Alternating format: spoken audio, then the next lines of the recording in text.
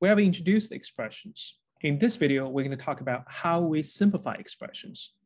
After all, solving an equation is really simplifying expressions till the end of x equals something.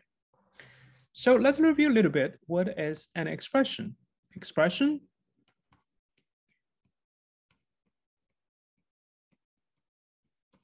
is a combination of constants, like numbers, and variables, and all variables. Of course, an expression can be just a constant.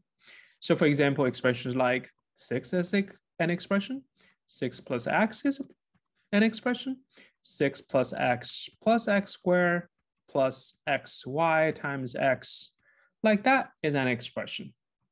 Now, when we talk about simplifying expressions, first thing we need to do is simplifying every term, each term inside this expression. What is a term? A term is intuitively very easy to understand.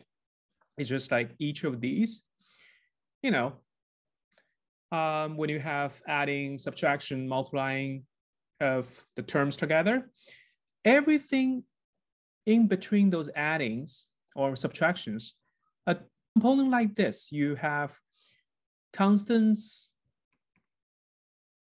times variables a bunch of a variable together, this is a term. So an expression is really uh, adding or subtracting different terms together. So how we simplify a term? Because this is kind of the building block of an expression. Simplify a term. Now, as we just said, a term is uh, basically consists of constant, like numbers, let's say constant times variables, right? Times variable hmm, one times another variable and could be many, many different variables, okay? So here, simplifying a term is really collecting or combining or merging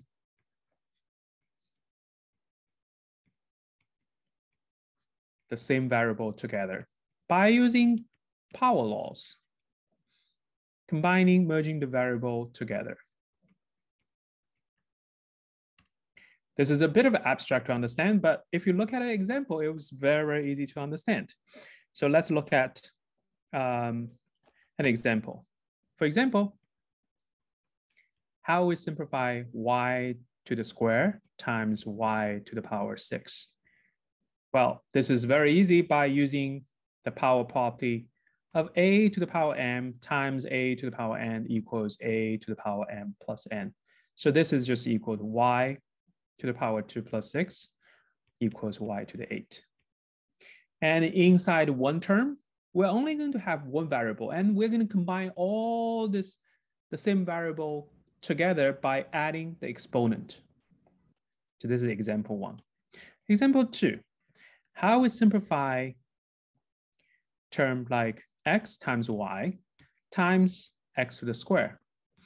In here, in this term, we have two x's going on here. One has x to the power one, the other one x squared. So we're gonna combine that together, x to the power one plus two times y, and this is equals x cubed to the y. And let's look at another example. In here, we're gonna simplify a cubic root of 27 and y to the 9. Now in this, again, we're going to use the properties of powers. In here, we're going to apply the cubic root to both the constant and to the y9 cubic root. So for 27, one third to the exponent one third equals three to the power three to the power one third. You know, the third root of 27 is the same as 27 to the power one over three times y to the power nine, one over three. And this equals three times y to the power nine times one over three and three y cubed. So in here, we're looking at how we simplify a term simplifying term is really combining or merging the same variable together by using the power property.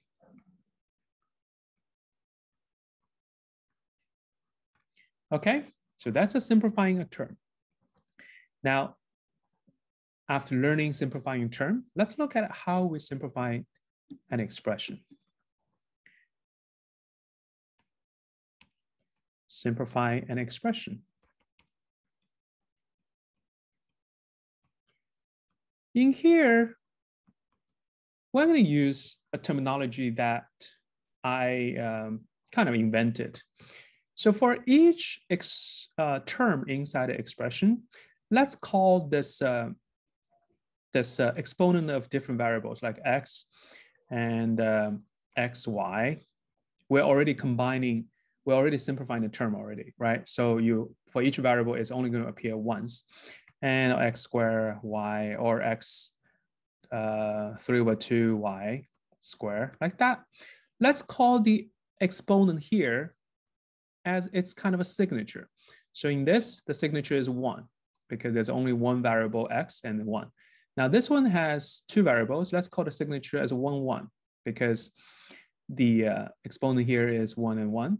And this one exponent of 2, 1. And this exponent is going to be 3 over 2 and 2. Let's call this exponent as its signature. Now, simplifying an expression will be just combining all the terms with the same signature. Merge all the terms with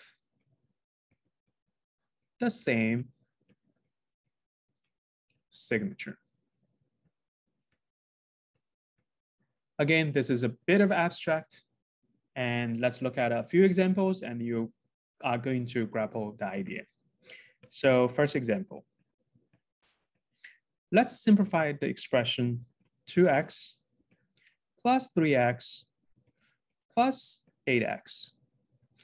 Now look at the signature of 2x. There's x to the power 1. So it's a signature of x1. And this is same as x1. And this is same as x, x1. So we can combine these um, three terms together. How we do that? We're going to factor the same x out by applying the opposite of distributive law. Remember at distributive law says a plus b times c equals a times c plus b times c, right?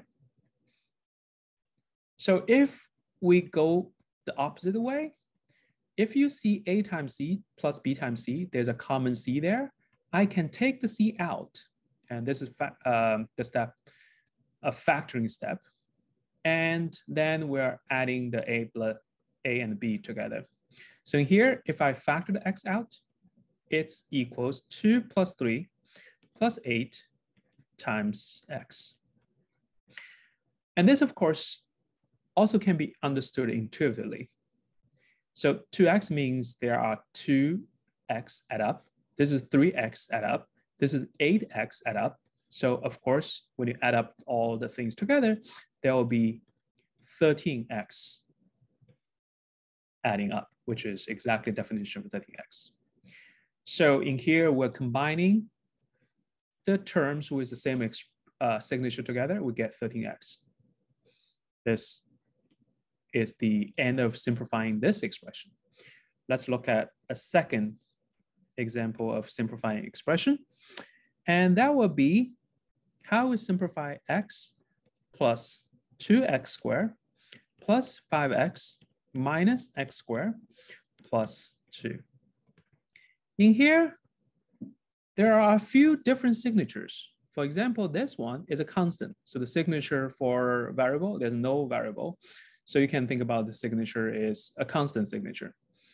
And for the x, there's an x and a 5x, which we can, com can combine. And then for x squared, which had a signature of 2, this is 2x squared, and then there's a minus 1x squared. So if I write down the different signatures, this is like signature, the first signature. This will be the second signature.